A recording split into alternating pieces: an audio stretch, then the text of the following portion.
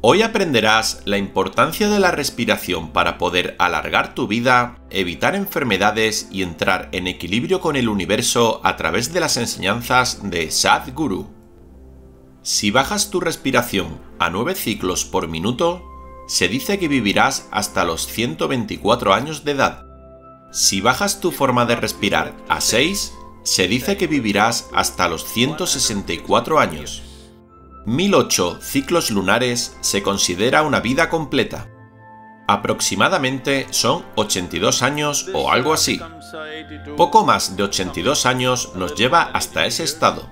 Así que nosotros decimos por seguridad que si has vivido más de 84 años es que has vivido una vida completa. Hay muchos cambios dentro del sistema una vez que la gente ha cruzado esos 1008 ciclos lunares. Entonces, ¿cuál es el máximo que puede llegar a vivir un ser humano? Te explico. Los seres humanos normales, aunque no sé qué puede opinar la ciencia médica sobre esto, es que normalmente un ser humano respira entre 12 y 15 veces por minuto. Si respiras 15 veces por minuto, estás respirando unas 21.600 veces al día. 21.600 es tan solo al número que se ha llegado por accidente o casualidad. 21.600 es el número de millas náuticas alrededor del Ecuador, y por cada longitud que se tiene entre una longitud y la siguiente longitud, el espacio son de 60 millas náuticas. A esto se le considera un minuto. Cualquier persona que sea un piloto o navegador sabe este dato. Con esto quiero aclararte que nuestra respiración y los ciclos del planeta están conectados muy de cerca. Si bajas tu respiración a un promedio de 12 respiraciones haciendo las prácticas adecuadas, se dice que podrás vivir hasta la edad de 80 años. Si consigues bajar tu respiración a 9, se dice que vivirás hasta los 124 años de edad. Si bajas tu respiración a 6, se dice que vivirás hasta los 164 años. Si alguien consigue mantener la respiración por largos periodos de tiempo, es parecido a estar hibernando y volviendo a nacer. Estas personas reciben el nombre de Nirmanakaya, y quiere decir que esta persona reconstruye su propio cuerpo. A este tipo de persona no se le asigna un tiempo de vida, es su elección el tiempo que quiere vivir.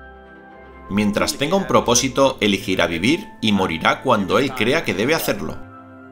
No morirá por una enfermedad ni morirá por ninguna otra cosa. De hecho, tan solo morirá cuando él se encuentre bien y lo decida. Esto no es algo absoluto, es una trayectoria normal y corriente de la vida. Si un ser humano respira una media de 12 a 15 veces por minuto, su respiración está totalmente conectada a su mente, y esto influye en sus fluctuaciones de pensamiento. No sé si la ciencia lo ha investigado, pero te aseguro que nuestra experiencia está ahí.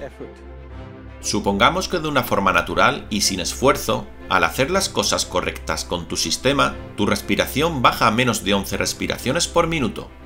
Es cuando comienzas a entender dónde están las vibraciones que pasan alrededor de ti. Si tu respiración baja por debajo de 9 respiraciones por minuto, te darás cuenta que hasta lo que las plantas expiden se vuelve muy obvio para ti. Y si tu respiración baja a menos de 6 respiraciones por minuto, te darás cuenta de cómo vibran las cosas. A esto se le conoce con el nombre de Rittenberg Program.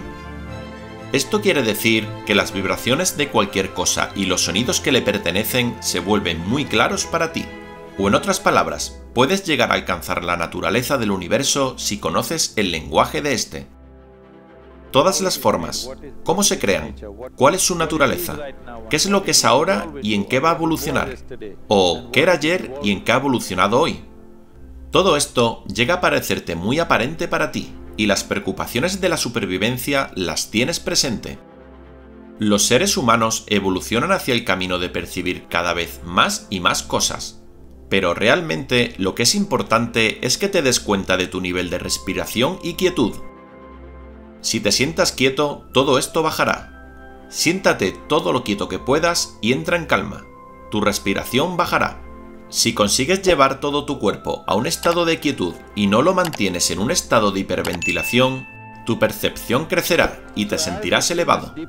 Así que mientras la quietud profundiza en ti, a esto se le refiere tradicionalmente ya que hay varias formas en las que se presenta y usualmente se le llama Rudra, Ara y Sadasiva. Uno es quieto pero está vibrando y rugiendo. Otro está quieto pero aún se encuentra en actividad. Y el otro está absolutamente quieto. Aquello que está absolutamente quieto se refiere a la máxima inteligencia. Todo lo demás y que provoca ansiedad por estar activo está sacrificando su inteligencia de cierta forma para poder estar en un estado de acción. Pero aquello que se encuentra absolutamente quieto se le considera la inteligencia máxima. Tan solo en el misticismo de Oriente, la fuente de la creación siempre se ha celebrado como la inteligencia máxima. La respiración consigue que tu cuerpo pueda vibrar de una manera acelerada o de una manera calmada.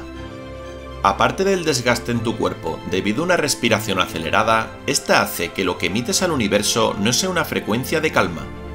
La vida gira en torno a la calma y a una vibración correcta. El ser humano es un ser que puede alterar su estado debido a la respiración. Todo en la naturaleza vibra siempre de la misma forma.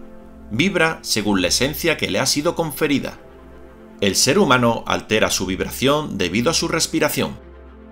Una persona cuando está calmada tiene menos ciclos de respiración por minuto, mientras que una persona que está alterada tiene más respiraciones por minuto. Obviamente su estado cambia.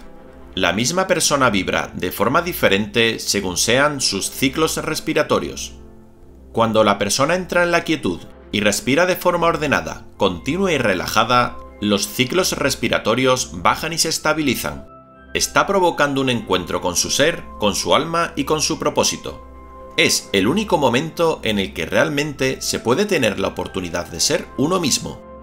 Nadie puede tener un encuentro con su interior si no es desde la quietud, y esto se consigue con una respiración pausada y relajada. La enfermedad viene dada por una respiración de ciclos alterados. No se puede enfermar desde la calma, esta alteración de ciclos la provoca la mente.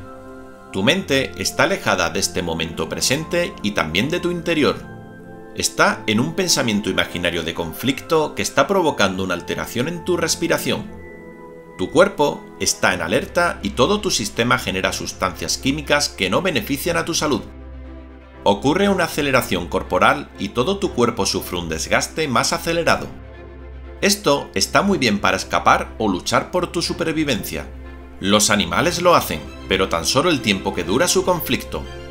El problema es que tú vives en conflicto permanente y esto provoca que no puedas vivir en la quietud y la calma. Es lo que provoca que no estés teniendo unos ciclos de respiración bajos. La ciencia ha demostrado que la meditación es beneficiosa para restablecer el equilibrio en el cuerpo. Tan solo debes estar pendiente de tu respiración Prueba a hacerlo. Respira lenta y profundamente y expulsa el aire de igual forma, lentamente. Cuando lo hagas te darás cuenta que algo ha ocurrido en tu cuerpo. Comienzas a entrar en un estado más relajado. Estás dando la orden a tu cuerpo para que todo vuelva a su equilibrio. Por ello, las personas que respiran conscientemente durante largos periodos sienten que conectan con algo más elevado que ellos mismos. A esto se le llama meditar. Para meditar, tan solo debes fijarte en tu respiración. Es lo único que debes hacer. Todo lo demás vendrá solo, porque cuando los ciclos de tu respiración son calmados, tu cuerpo entra en equilibrio, conectándote con tu interior y con la vida. Prueba a contar cuántas veces respiras por minuto. Ahora relájate y comienza a respirar mucho más tranquilo y vuelves a contar. Si has conseguido bajar tu respiración por debajo de 10 respiraciones por minuto, estarás equilibrando tu cuerpo. Cuantas más veces respires por minuto, más te estarás alejando del equilibrio y la conexión con tu interior. Hazme saber dejando un comentario cuántas veces respiras por minuto y escribe yo soy si eres consciente de este aprendizaje. Ahora ve al siguiente vídeo para seguir aprendiendo cómo manifestar la vida que deseas, pero no sin antes dar un like, darle a la campanita y suscríbete al canal, ya que te prometo que tu vida va a cambiar de una forma increíble. Te deseo lo mejor en tu vida y nos vemos en el siguiente vídeo.